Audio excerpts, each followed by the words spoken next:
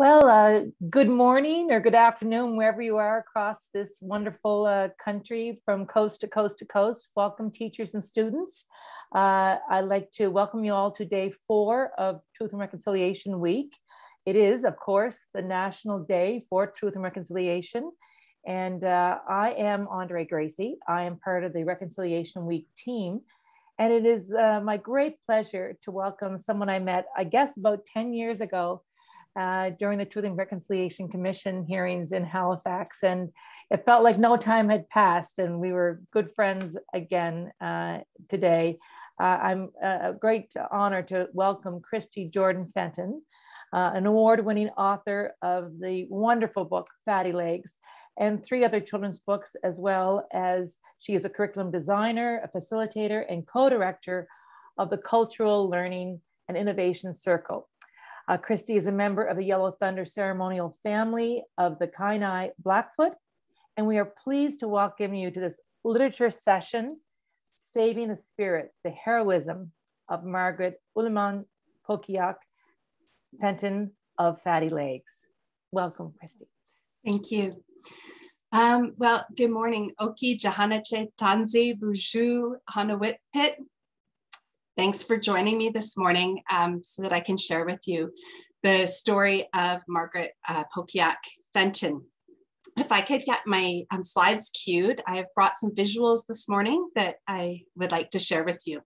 If any of you, especially young um, listeners, feel upset at any point um, in this talk, do take care of yourselves and um, be sure to um, take some water or go for a walk or whatever it, it is you need to do. We want to care for our spirits as well. So I'm just going to wait for, oh, here we go. Um, visuals to be shared. Here we are.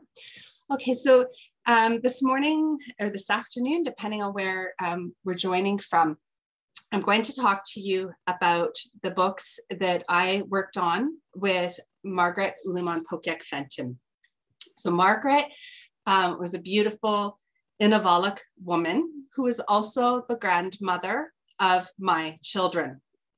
I am coming to you today from the territory of the Dane-zaa, but Margaret came from the territory of the Inuvialuit. Now, um, my children, being Margaret's grandchildren, are Inuvialuit themselves. And because we live in the territory of the Dane-zaa, I didn't have any way to teach them what it meant to be Inuvialuit.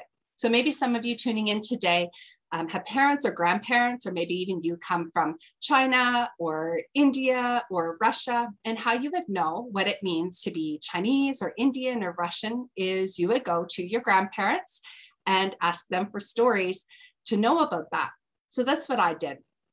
I went to Margaret and I bugged her for stories all the time um, about growing up up north. So she started telling me stories about traveling um, by dog sled, about hunting wolves and polar bears. She had the most amazing stories. So, in a moment, I'm going to tell you the story um, that she told me one day that led to all of these books. But first, I want to um, show you some pictures of this beautiful woman that we're talking about today. So the smallest picture is, uh, or sorry, the, the top picture when she's the smallest, the youngest. Um, that was Margaret when she was just a little girl. This was a, a little bit before she went to residential school, but you can see um, how really cute she was. Then there is an illustration that was done by Liz Amini Holmes of Margaret as a um, character in a book, real person and a character the next photo is one of my favorite photos of her. It was taken when she was 16. Uh, the outfit she's wearing was somewhat traditional, but also modern for the time. And she would have spent weeks and weeks and weeks um, beading and embroidering the outfit by hand. And it showed her um, walking with a foot in both worlds, um, both traditional and um, also a bit modern. And then the bottom photo um, is the beautiful Margaret who passed um, this last April at the age of 84. So Margaret and I lived right next door to each other on a farm um, out in the middle of nowhere, half an hour out of town. And we used to drive together. Margaret didn't drive, so I would drive her to town. And on the way, she would tell me all those great stories. One day, she told me a really different story. So we were driving to town, and she said, They used to call me Fatty Legs. She went on to tell me um, a secret she kept for 65 years. So she told me about when she was just eight years old. She wanted nothing more in the world than to learn how to read. But the only way she could do that was to go far away to the residential school. Once she got there, she got stuck there for two years. That has to be the world's longest school day. And when she was there, one of her teachers, this horrible nun, um, picked on her all the time. And she gave her these bright red stockings to wear. So everybody teased her and they laughed at her because nobody else was wearing stockings like that. And they called her fatty legs. Then she told me how she got rid of those stockings. And that was the secret she kept for 65 years. So I was the first person who got to find out what she did with those stockings. Immediately, I wanted to tell her story. I said, Oh, Margaret, this is a great story. I really want to write this story. And she said no. She said um, later on that the reason she said no is she didn't want her grandchildren to know she had been naughty at one time. But actually, I think what she did was so heroic and brave I was raised by a residential school survivor. My stepfather was Cree Métis. And I knew that residential school had really affected him even as an adult, though he didn't really talk about it. I knew a lot of people who went to residential schools um, when I was growing up. A lot of the adults had gone. So when Margaret told me this story, and it was a story of a child who actually won up to the nun, um, I was very excited to tell it so Margaret was known for being very determined, but so was I. And uh, eventually we ended up with four books. Um, so I'm going to try and show you on a map where Margaret's from. So if you want to try and um, locate uh, yourself on the map, uh, so let's say if you were in Edmonton, that would be about a seven hour drive. From Vancouver, it could be anywhere from 16 to 20 hours to get to the house. And from that house, so that's the territory of the Dane-zaa, also known as Fort St. John. And that's where Margaret and I lived. She moved there uh, in the 1960s. She met a cowboy and became a cowgirl. But that's a totally different story. So if you drove from that house for three and a half days without sleeping, you would end up just so if you drove straight to the ocean, but not quite to the ocean, um, you would end up in Inuvik. In Inuvik, you would get on a plane for two and a half hours to end up where the mittens are. Where the mittens are is Banks Island, and that is where Margaret was originally from.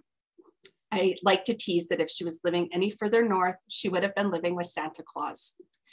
To go to the school, she had to cross the Arctic Ocean, come up the river, and where the books are, that was a Aklavik. That's where she went to residential school. It doesn't look like it was a really long ways from the island um, she came from, but it was. So I would encourage teachers as an exercise you can do with your class, Google how far it is from Banks Island to Aklavik, and then locate where you are on the map and find some place that is a similar distance. This is what it looks like where Margaret came from. There were no trees and the ocean in front would freeze for about 10 months of the year when she was young. They traveled by boat. So once that ocean froze, they were landlocked. They weren't going anywhere. And they lived in frame tents. The reason that they did that is they were semi nomadic. So every once in a while, they would um, pack up their whole community and they'd move somewhere else for better hunting and trapping and fishing. Um, this is a picture of a frame tent. So what they would do is they would put snow and ice around it to keep it really nice and warm inside and insulated, and they'd have a stove inside. They're actually a very comfortable way of living. The largest child you see here is Margaret. This was taken a little bit after she came back from residential school. You can see how really nice and warm she's dressed underneath that top layer of her atikluk, or also known as a Mother Hubbard parka would be a heavy layer of caribou fur. And if you don't know what a caribou is, it's like a wild reindeer. So they're in the Arctic. It's super cold out. It's the middle of winter. And you can see how really warm and comfortable those children look. That's because the time Margaret was born, she had thousands and thousands of years of ancestral knowledge to be able to be very comfortable in her environment. What ancestral knowledge means is that um, every set of grandparents, great grandparents, great great grandparents, great great great great great great great grandparents, all the way back thousands of years, every set of grandparents came up with a better and a better and a better way to live where they were at. So by the time she was born, they knew exactly how to be comfortable there. But then the outsiders came from Europe. The outsiders wanted to assimilate or make the children like Europeans so badly, they dressed them like they were in Europe. But the outsiders' ancestral knowledge or grandparents came from Europe, very different environment. They dressed the children like they were in Paris or London, but they weren't. They were where the ocean freezes. So, who do you think knew better on how the children should dress? The people who were very brand new to the area or the people who had been there for thousands and thousands of years. I think we could all agree this is much better way to dress in the wintertime. This is where Margaret went to school, but this is not a picture of the school. This is a picture of the hospital. Um, for any of you who have read Fatty Legs, the largest nun in the middle was Sister McQuillan. So she was a real person. This picture was taken a little bit before Margaret went to the school but that hospital there. So for those of you going to school, you probably just go to school and you worry about learning. The school that Margaret went to, they had to work in the hospital as well. Even when there was pandemics and um, outbreaks of illness, they would make the little children work in the hospital. What the purpose of residential schools was, and a lot of them were called industrial schools, and industrial schools where you learn to be a worker.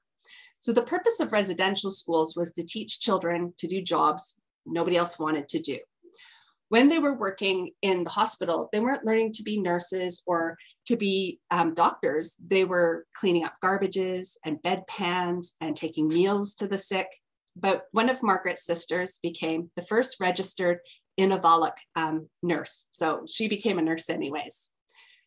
So just behind here, it's really hard to see. There are some trees Margaret was very terrified of the trees because she didn't grow up with them. The big fun thing they would do is they would go picking berries. Berry picking is a lot of fun. And because they were never fed enough food at the schools, it was a very exciting thing for them to be able to go and try and pick the berries fast and get them in your mouth as quickly as you could. But the nuns used to scare the children and ruin it for them. They would tell them stories of children who went missing in the woods and monsters waiting to get them. And um, it was pretty, pretty awful. So um, they would be quite scared. So Margaret's story takes place at the same time as World War II. Um, she was, it wasn't at the war, but at the same time. But so we think of residential schools ending a long, long time ago, but residential schools ended a year after I graduated high school. And that would be 1996. I'm probably around the same age as your parents, probably younger than most of your grandparents. What that means is, yes, there are people in your community who went to residential school or have a parent who went to residential school. So when Margaret was going to school, she got to go back to school shopping.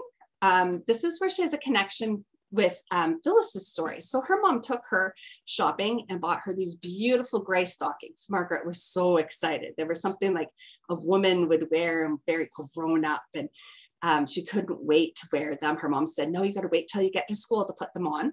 And she bought her some toiletries, some things for her to keep clean at the school. So Margaret gets to the school. They line all the girls up in the morning to get ready. Margaret didn't speak or understand English, so she just sort of followed what everybody else was doing. And um, they were getting out the toothbrushes and their tubes of paste. So she got out hers, she put it on her toothbrush, stuck it in her mouth, and she said it tasted horrible. It wasn't toothpaste, it was shaving cream. So everybody laughed and made fun of her mom. And it made her feel really bad about her mom, like her mom was stupid. But her mom wasn't stupid. Her mom was an Inuvik woman who spoke Inuvialuktun and lived in Inuvialuit territory. She spoke the same language that had been spoken there for thousands of years. She lived in the, her own country, the Inuvialuit country. And just like there was a Haudenosaunee country, the Anishinaabe country, the Blackfoot, the Cree, Canada came and set itself on top of all of those nations. And all of a sudden, everybody had to speak or understand English or French. So it's hard to understand how Margaret's father would let her go to the school.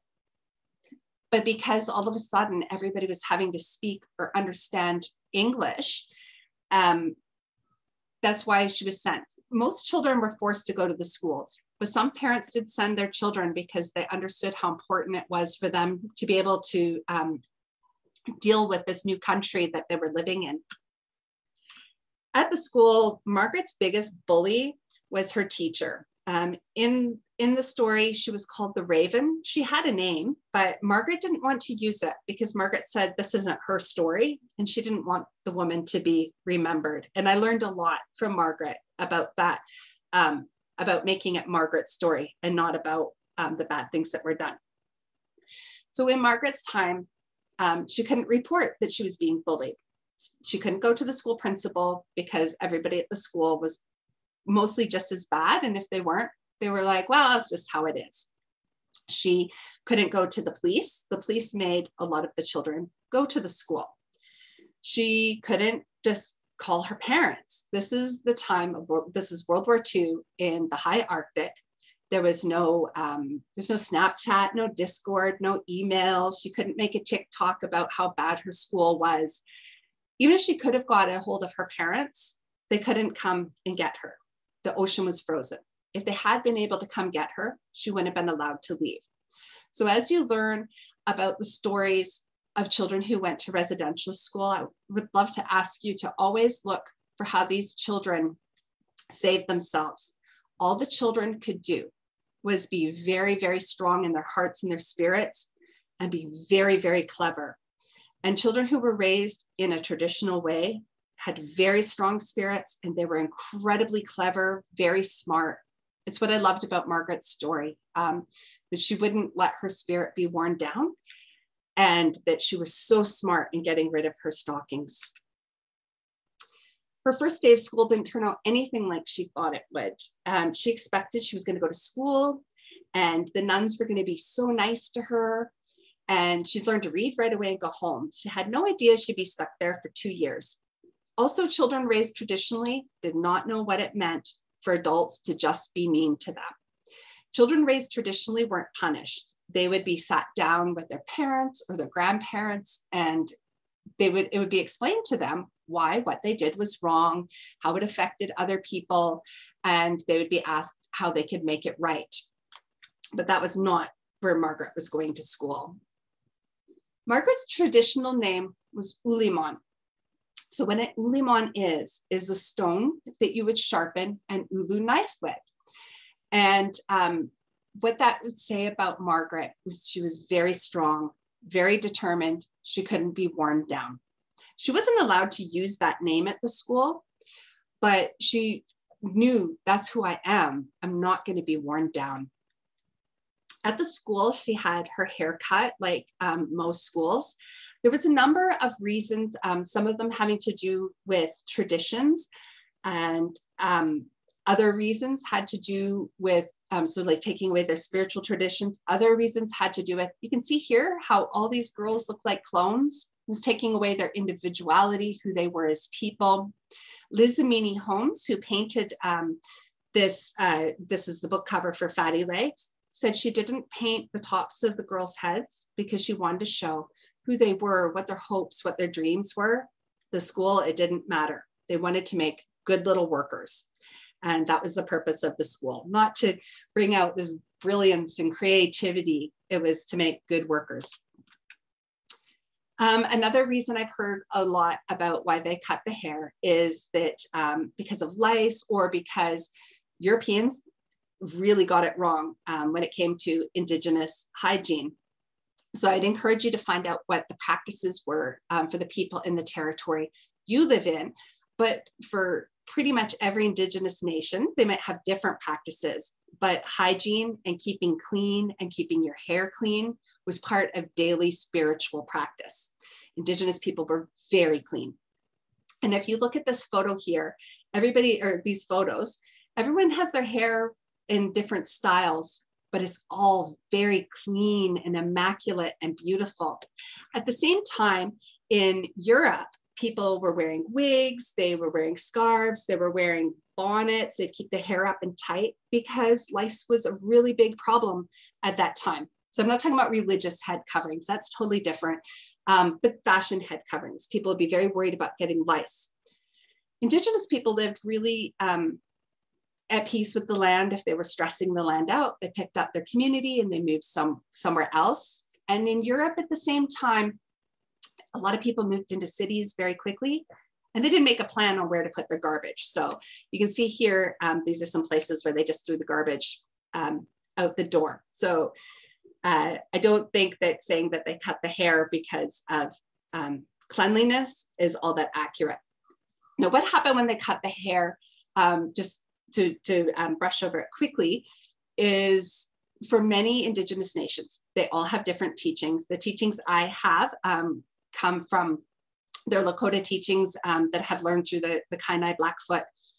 Um, the, the length of your hair has to do with your courage, your honor, your strength, and your connection to spirit. And one of the main reasons that you would cut your hair, you don't just cut your hair for fashion, would be because somebody really close to you died. And it's letting go of that past part of your life with that person so they can move on to the spirit world. All these children were lined up. They couldn't read or understand English and they couldn't ask questions. They weren't allowed, and they were all having their hair cut. I think it must have felt very apocalyptic or like the end of the world because they would have thought, is my family okay? Did my mom die? Did my dad die? What about this kid? Did his family die? And this child, and this child, and this child. It would have been really scary until they could find out. Even when they found out their family was okay, it still meant they were letting go of everything from their past life. Um, here's a picture of smudge. So smudge um, is burning herbs or um, where uh, plants or where I live, we burn fungus and it's for cleansing your spirit. But most smudges have antibacterial properties and it's also like using hand sanitizer. So, um, another reason why Indigenous people smudge on top of cleansing the spirit is to keep very clean. Here is the boat that Margaret's family traveled by. Um, there would be several families on this boat, very large families. This boat is docked at the Vancouver Maritime Museum. You can see it. It's called the North Star. And they would go once a year to go shopping for everything that they needed once a year. If you didn't get it on that trip, you were going to have to do without or find it off the land. In the middle here is a picture of Margaret. This is when they would bring in the barge loads of firewood. And because the children lived at the school, when it was time to unload the barges, they could get them up at six in the morning and make them work till 11 o'clock at night. Margaret said um, that they would work them until they just couldn't even lift their arms anymore. And they would do that for a couple of weeks. And here's the wood. It goes several rows back and wraps way around um, those buildings. And if you see in the background there is a picture of the school she went to. Um, it no longer exists. It washed away into the river and eroded, but that's where she went to school. And here's a picture of two of her sisters in the playroom. This was after Margaret went to school. Um, that floor, she said, um, they didn't have toys like that when she went there. They would have to scrub that floor and clean it all the time, over and over again but her favorite part of being at school. So she always found something good out of even the bad stuff was they would put down wax on the floor and they'd get big thick wool stockings and they'd slip and slide up and down like human bumper cars and she really loved that but it was in the day before a swiffer wet jet so they were on their hands and knees and scrubbing the worst chore that margaret had to do was um, they didn't have proper bathrooms in their school. So they would use outhouses. And at nighttime, if they had to go to the bathroom, they went to the bathroom in buckets. So Margaret was told um, she could either go to church in the morning to pray, or she could go empty out the bathroom waste of all of her classmates. And she was very stubborn, very determined. She emptied out the bathroom waste rather than go to church. And here's a picture of the boys at the school. These boys um, in the springtime would be taken out um, to go check the trap lines. Um, kind of a, a, very hard and dangerous job. Um, and they would be sent out to make money for the school. They'd come back with muskrats and the furs would be sold, but they'd take the meat and the children would have to eat the meat. Now, muskrat is a traditional food for many indigenous nations, and there's some great teachings behind eating it. But where Margaret came from, they ate whales, they ate caribou, they ate fish, they didn't eat furry little creatures. So, how most of you would feel about eating muskrat is exactly how she felt about it. So, after two years at the school, no contact with her parents, wondering if she was ever, ever going to get to go home, finally they said, Margaret, your family's going to meet you in Tuktoyaktuk. Get on the boat. Um, this boat was kind of like a school bus, but it didn't get you in the morning and take you back in the afternoon. It got you at the end of summer and took you home at the beginning of summer if you lived close enough. Margaret did not live close enough. So her family was going to meet her at a place that was closer. So she got on the boat. Now, to back up a bit, when she was working at the hospital, there was this really mean brother. Um, so the brothers were like workers at the school. They belonged to the church. Um, they weren't priests, but they were workers. And so this um, brother was always picking on her. And when she was working at the hospital, she had to go to the bathroom so bad, like she could hardly hold it. And every time she went to go, somebody would stop her. Finally, she gets out. She runs to the bathroom. She's just holding it. And he gets down in front of her and he scares her. And she had an accident. Now, most teachers would try and help you like get changed and make sure your classmates didn't find out. Margaret School, they made her wash her underwear and lay it out to dry on the lawn where everybody else would see it. She wasn't very happy about that. So now she's on the boat, finally going home. Um, and she's with her friend and a bunch of other children. The boat stops partway along the way, and the cook says, Hey, girls, if you go find some duck eggs, I'll make you some pancakes. So Margaret and Agnes hop off the boat and they're like, Oh, we know where to go find some good duck eggs. And they're running around in the bushes. And Margaret said they came across this big white butt, and it was the brother going to the bathroom in the bushes. And so they started laughing, and all the other kids came and they all laughed. And it was a little bit of karma. So the boat finally gets to Tuktoyaktuk. She it's just coming to shore. She doesn't wait for it to fully stop or anything. She just she sees her mom. She's like, I'm home. She jumps off the boat and she runs for her mom. And her mom looked her up and down and kind of shook her head and said, her mom barely spoke English. She said, not my girl, not my girl. And Margaret was like, what do you like, what do you mean? Not, not my girl. And her mom didn't recognize her. Margaret was terrified. She thought, oh my God, they're going to send me back to the school. Now, Margaret's mom wasn't a bad person. Margaret went to the school as this chubby, happy eight year old with long braids. She came back, she was about as tall as her mom. Um, she was starved right out. She was never fed enough to eat at the school. Her face would have looked very, very traumatized. All her hair was cut off. So her mom didn't recognize her. And Margaret couldn't speak Inuvialuktun anymore to tell her mom who she was. And Margaret's mom couldn't speak English. Luckily, Margaret's father recognized her. So he took her in a big hug and Margaret thought, oh, thank God I'm saved. And her mom then joined in and felt really bad. And her brothers and sisters joined in. From there, Margaret had to relearn her language. She had to relearn how to stomach her all her very favorite foods that she hadn't been able to have the whole time she was at the school because she had very bland food at the school. Um, her, her traditional foods, they call them country foods, are very fishy, very salty, very rich. They're very full of flavor. And she couldn't stomach that anymore. But Margaret worked really, really hard to relearn um, everything she needed to know and that she missed out on in those two years.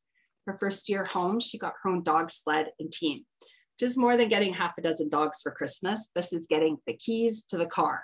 You had a lot of freedom if you had your own dog sled and team.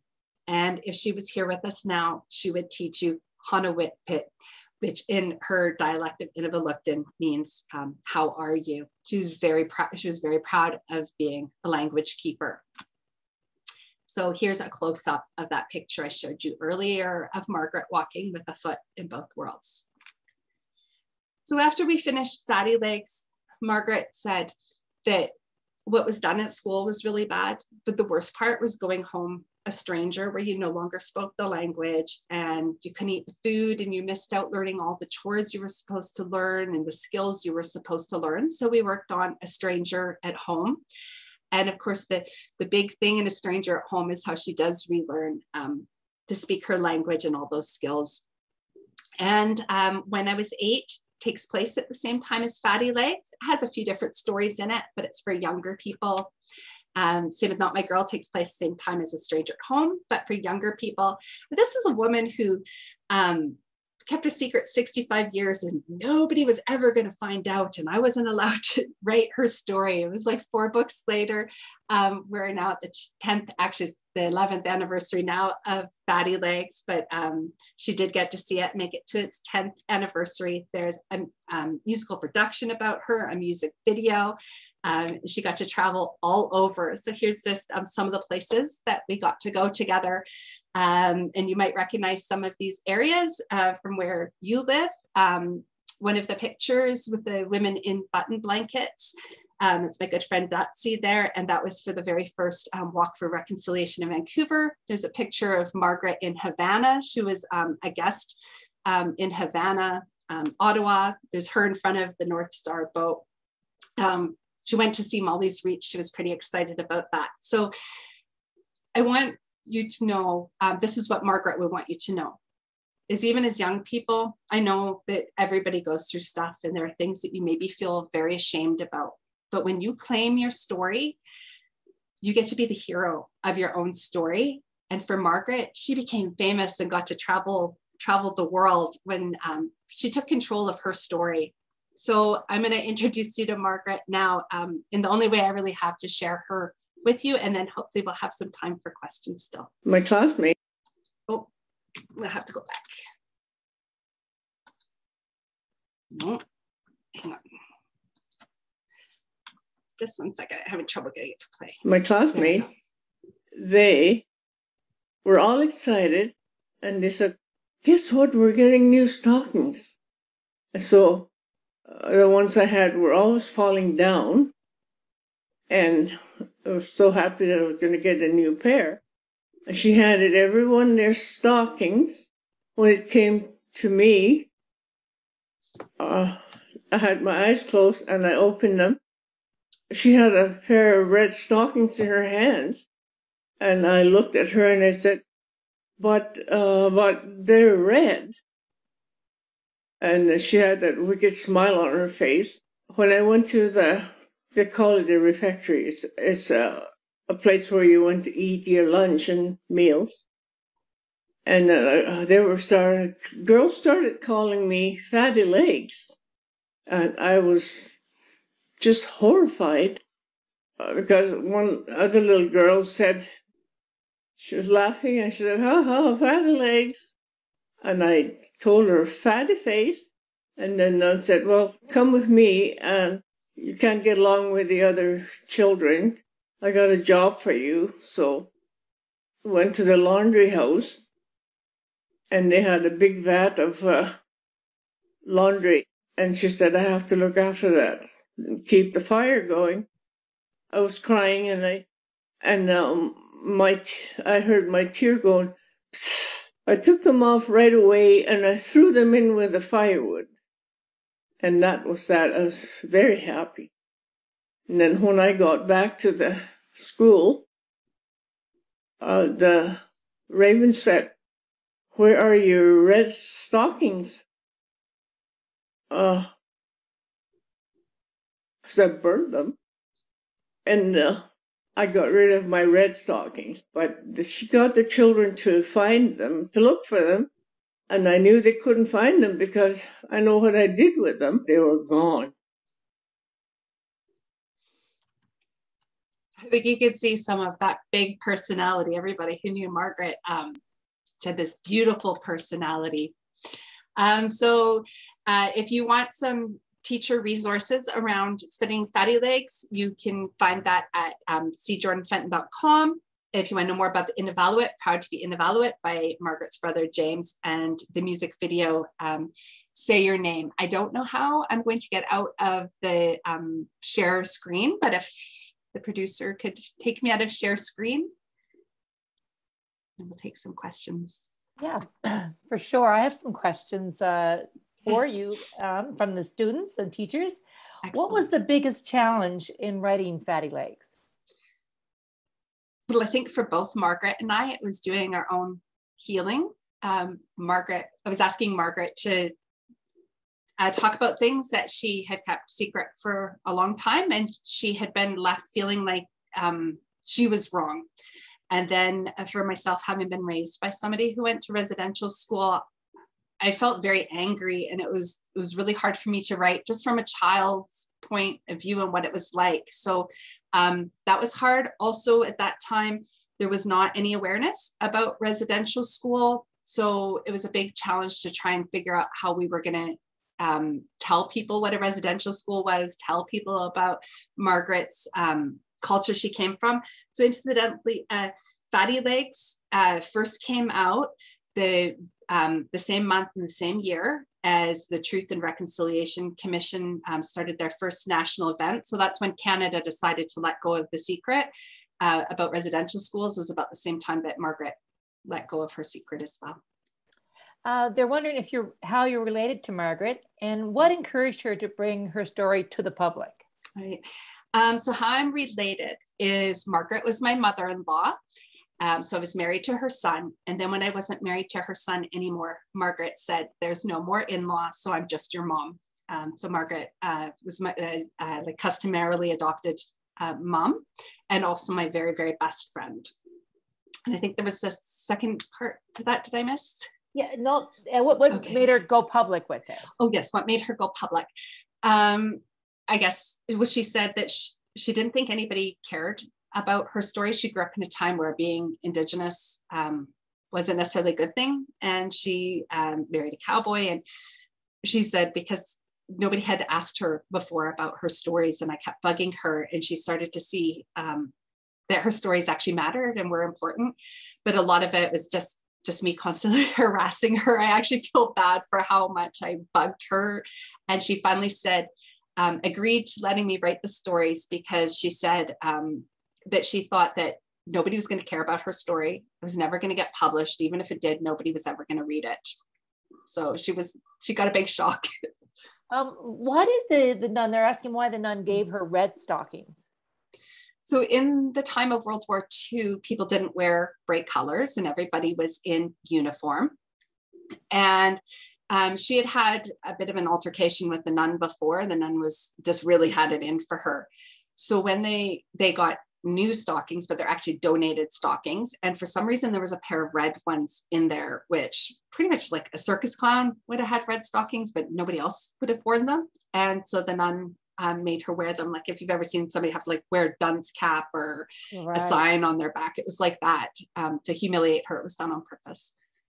Wow, there are so many questions. Uh, did you use Sister McQuillan's name in the book because she was much more kind than the Raven? Yes, Margaret wanted her to be remembered because she actually was was kind and, and Margaret really liked her a lot. So that's why she got remembered. Okay. And what did she feel about being called Fatty Legs? I think you probably discussed yeah, that she video. did not like that at all. She felt really humiliated. Um, it was bad enough that the nun picked on her, but then when all her peers like all her classmates joined in that was that was too much for her she wasn't putting up with it for very long no um let's see another one here uh why did Omalan, um, Ole, Uliman, Uliman, Uliman, yeah. Uliman go back to residential school with her sisters? Great question. So she did go back. So um, she skipped school for a year, like Michael Kusugak. um, she skipped school for a year. She ran away. She was not going back to the school. Then her father realized her younger sisters were going to have to go to school. They needed to learn to read and write as well.